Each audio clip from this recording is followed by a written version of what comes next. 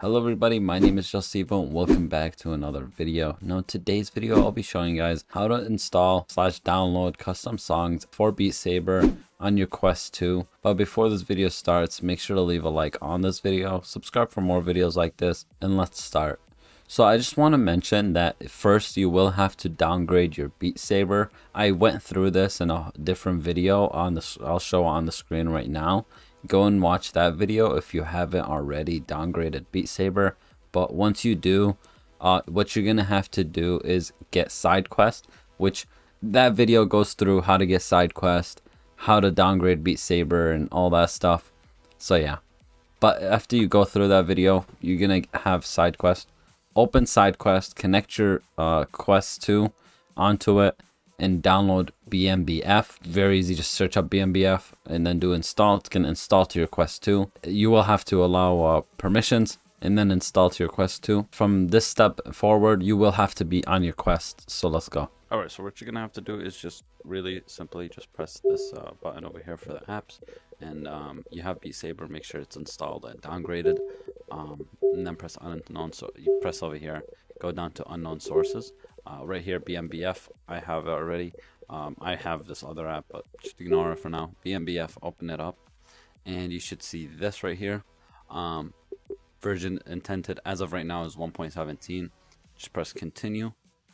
Press uninstall Beat Saber. Give it a second to uninstall. Alright, press OK. And then do patch Beat Saber. Give it a second to patch. All right, so step three is simple. Just go down here, press uh, install, and then press install. So if you see this, uh, or if you see a package installer uh, isn't responding, just press wait. And then uh, if you see this, just press close. Also, I want to just mention something really quickly. If you're having problems with uh, installing it, uh, where it's going to tell you something about unknown sources, just allow BMBF to install unknown sources. All right, so when you have this, you can just press over here, browser. So what you're gonna have is Beat Saber, uh, Beat Saber, and some other stuff. Uh, doesn't really matter. All you have to do is just scroll down, and right here where you could see some songs, you're just gonna find one of them, and then over here you're gonna press on one-click install, uh, and click on this little cloud download thingy. Uh, you might have to re-click, but there you go, uh, song added. So you can also just scroll up uh, up here and press on the search button and search of whatever song you are looking for. Um, most of the time you can find it. You can also go to Beat Saber and basically the same thing as uh, Beast Saber. Same song, same uh, search and everything. You can try them. Uh, you can also get mods um, and you can also get models for Beat Saber though usually it, sometimes they won't work uh, you'll have to just try them out. And uh, okay so on the top over here you have sync with Beat Saber. Uh, Beat Saber um, click on it. Give it a second. All right now press start Beat Saber. Now not everybody's gonna see sync Beat Saber. You might just see start. Just press start on it. Again if you see this uh, restore app thingy just press open app or press close. Either one works.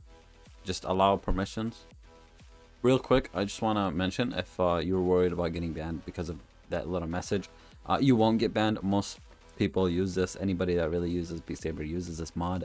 There's no problem whatsoever. Nobody has been banned yet, so you, you should be safe. I'll let you guys know in the comments uh, if, if they start banning them. Uh, Alright, now you should have Song Downloader on your left. Uh, you can use Song Downloader and download songs from there, or you can just use BMBF. I recommend just using BMBF because sometimes Song Downloader search doesn't work, and some other reasons. Uh, it, anyway, you should press. Uh, you should be able to press solo.